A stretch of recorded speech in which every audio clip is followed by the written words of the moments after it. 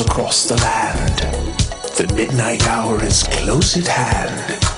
Creatures crawl in search of blood to terrorize y'all's neighborhood. And whosoever shall be found without the soul for getting down must stand and face the hounds of hell.